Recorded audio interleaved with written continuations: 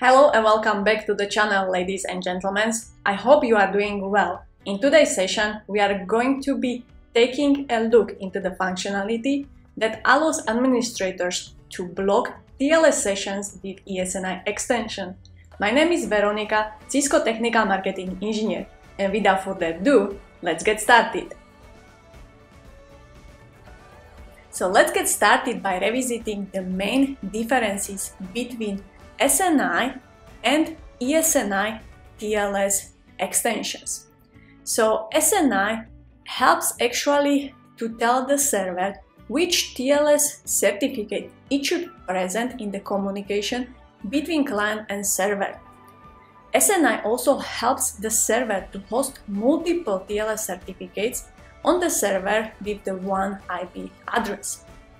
However, SNI has its own drawbacks because SNI information on its own is exchanged within the TLS handshake and specifically within the client hello in the clear text. So anybody in the network can identify the true identity of the destination server where the client was trying to communicate to. And this problem is solved by something called ESNI, encrypted SNI, which is defined in draft IETF standard. ESNI extension essentially adds extra security into TLS 1.3 protocol, in which the most of the TLS handshake is already encrypted, and more specifically, server certificate details are encrypted. And with ESNI, obviously, we are encrypting part of the client hello and more specifically SNI information. This feature adds extra privacy to the user's browsing data. However, with the rising number of TLS sessions in the network, malware is also leveraging or adopting the TLS encryption as well, and it could use ESNI for malicious activity. And with that in mind, we are going to look into the labs demonstration to explore the behavior of the traffic flows with SNI versus ESNI flows from the firewall's perspective. Throughout this lab demonstration, we are going to establish TLS 1.3 flow from the client towards the discord.com TLS 1.3 capable server. And I pick this as an example because I know that this server is able to establish the communication with SNI but also with ESNI. So let's jump into the lab demonstration. So as you can see, I have logged into the Firepower Management Center and I have displayed the access control policy, our firewall rule set. So let's revisit our configure rules so we better understand what should be expected behavior before we generate the traffic itself. So I have configured the block rule to deny communication towards the Discord server, whether it's using application itself or uh, web traffic. But then I have, if we don't match this rule, then I have inspect HTTP or HTTPS connections, which will essentially allow the connection unless uh, it's associated to some known threat. Uh, and then if nothing else matches, then we should block uh, the traffic by the default rule. So let's uh, open up the live eventing page to observe the traffic flows that are passing through the firewall. And let's generate two traffic TLS 1.3 flows toward the discord.com using SNI information.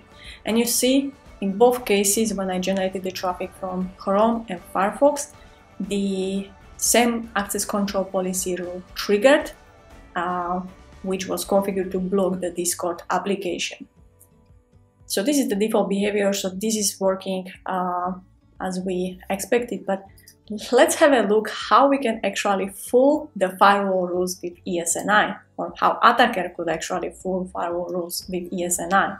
Um, let's clear out our logs and let's now generate the traffic from Chrome and Firefox, but Chrome is leveraging SNI and Firefox was configured to leverage ESNI. And you see that the traffic with using ESNI has been allowed through the firewall because of our firewall policy, but we can notice that traffic that was going from the Chrome browser that the user used SNI extension matched the block uh, VPReset, like block Discord application. However, the Firefox browser was detected as a web browsing, so it matched the rule to, that allow and inspect HTTP HTTPS flows and passed through our firewall. So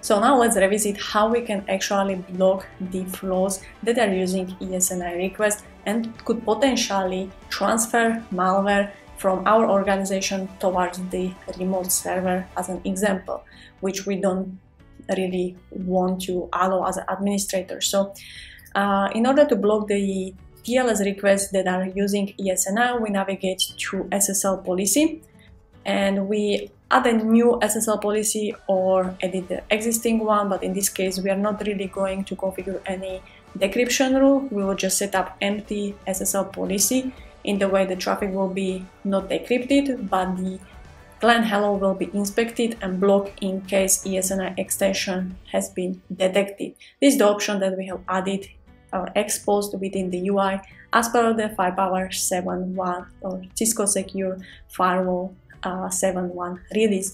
Before we had this option uh, part of the CLI, but it is scalable since you can push this configuration towards hundreds of the uh, firewalls at the same time. And basically, once we set up such SSL policy, we associate it to access control policy, save, deploy, and that's it. So let's wait for policy deployment to finish and I will actually speed this up. Now, when the policy deployment is successful, we refresh our live uh, logging events and we will try to generate again the traffic from the Chrome that is using SNI and from firewalls they still configured to leverage ESNI extension. And since we have block request with ESNI extension configured, the firewall made the decision to block such traffic. But you see, we didn't hit with those two traffic flows the same rule because the first um, traffic flow from the Chrome has been blocked by block Discord uh, firewall rule. However, the Firefox has been blocked by SSL block as a SSL block reason because of our configure SSL policy. Thank you for watching. If you like videos like this, please make sure to subscribe to get notified anytime a new video is posted.